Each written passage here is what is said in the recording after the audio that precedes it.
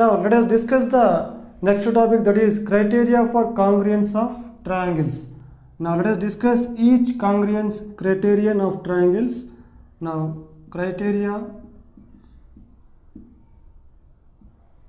for congruence of triangles.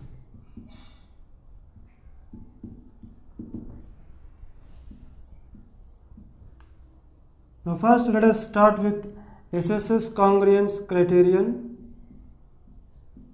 side side side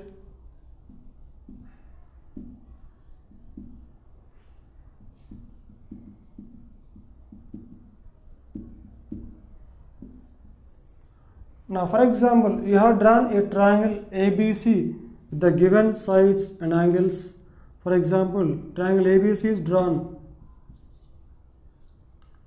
the length of BC is 5 centimeters and AC 6 centimeters and the length of AB is for example 4 centimeters and the angles are given as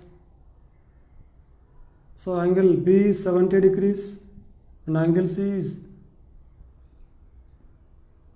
angle C is 50 degrees and angle A is 60 degrees. Now, if you want to draw the copy of the given triangle, for example, if I give you only one side of the triangle, means you have to draw the copy of the triangle and that is you are given only one side of the triangle. For example, the side BC is given. Now, by taking only BC as 5 centimeters, so I have given you the length of base BC is 5 centimeters. With the given base BC, how can you draw the copy of the given triangle ABC? Means how to draw the congruent triangle of ABC. For example, by taking BC, we can draw an acute angle triangle like this or we can draw a right angle triangle or we can draw any again taking 5 centimeters base BC or you can draw an obtuse angle triangle. So we cannot draw exact copy of the original triangle ABC. Now for example, if I give you the two sides, the lengths of the two sides. Now I have given you 5 centimeters and also AC 6 centimeters. Now can you draw the exact copy of the original triangle ABC? Again let us try. Now here BC is given 5 centimeters and AC also given that 6 centimeters. Now with C center and 6 centimeters radius, now you will draw an arc. So that is, but how can you find the point A on this arc? So here also we are not able to draw the original, means we are not able to draw the exact copy of the original triangle ABC. Now for example, if you are given all the three sides, 4 centimeters, 5 centimeters and also 6 centimeters. Now here when the three sides are given to you, now you are able to draw the exact copy of the original triangle ABC. Now because now first you can draw a line segment BC of 5 centimeters then with C, with C center and 6 centimeters radius you will draw an arc and again with B center and 4 centimeters radius you will draw another arc. Now this is the point of so mark A as the point of intersection of these two arcs. Now you can join AB and AC. Now you will get the exact copy of the original triangle ABC. Now here we can observe that now these two triangles are congruent to each other or you can draw ABC here 5 centimeters and this side 6 centimeters and here 4 centimeters. Now the given triangle ABC and this triangle ABC, these two are the copies of each other means they are congruent to each other. Now if you observe the sides, corresponding sides of the two triangles, they are equal. So here AB is 4 centimeters and here also AB 4 centimeters and BC 5 centimeters, here also BC 5 centimeters and AC 6 centimeters, here also AC is the 6 centimeters.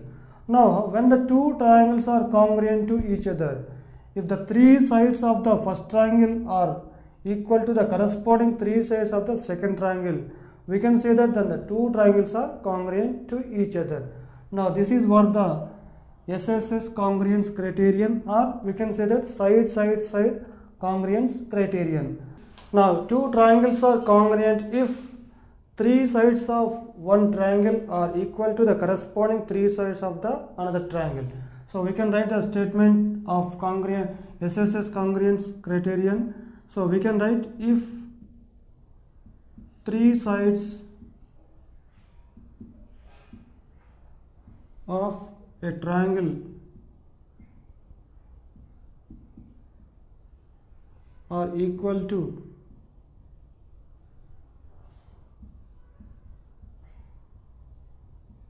corresponding three sides of another triangle.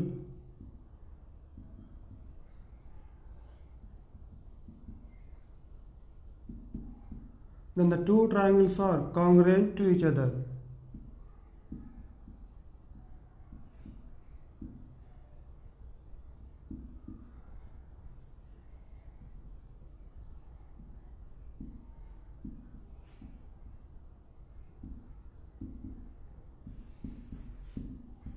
Now, if you take any two triangles,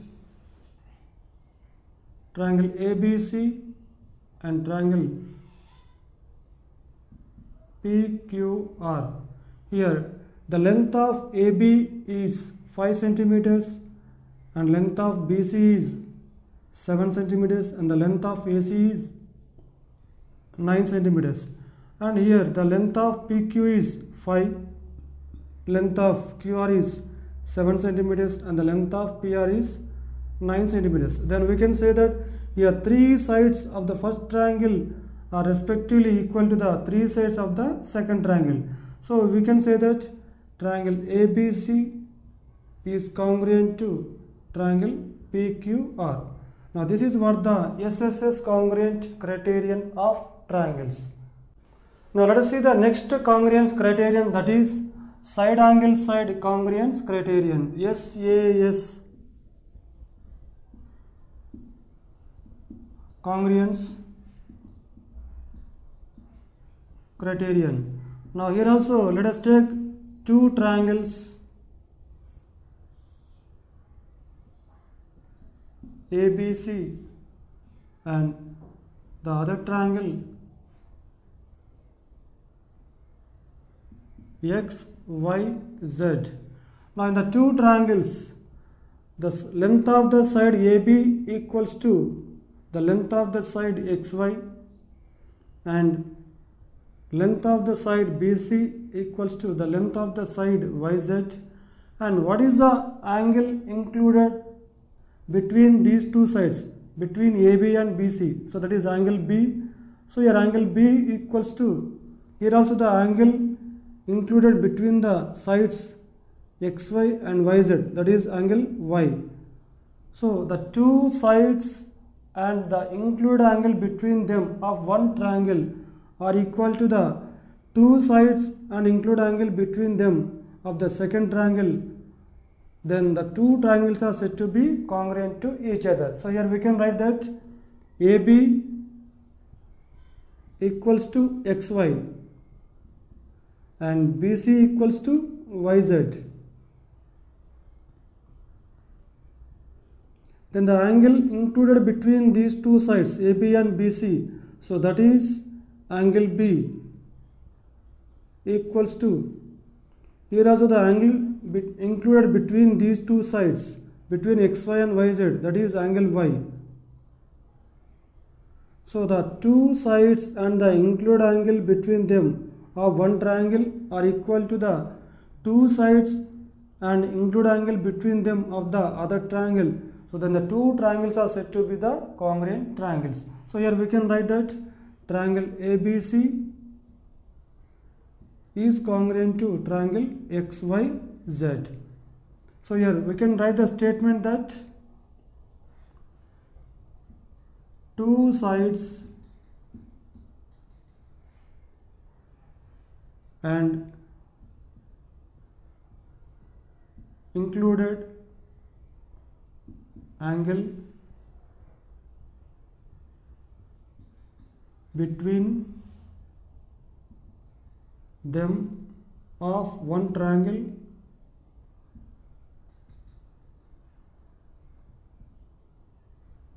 are equal to see here two sides and include angle between them of one triangle are equal to the corresponding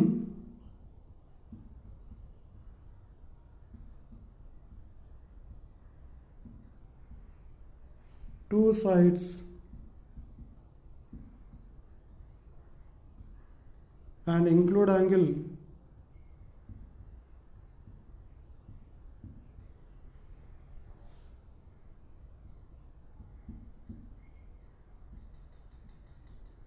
between them of another triangle.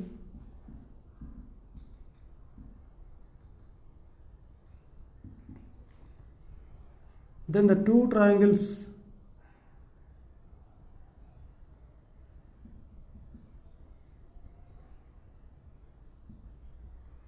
then the two triangles are congruent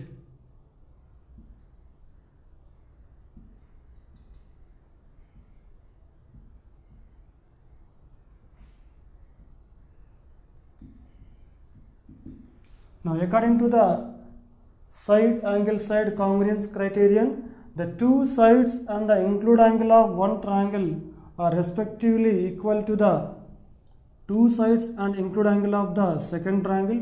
Then the two triangles are said to be congruent to each other.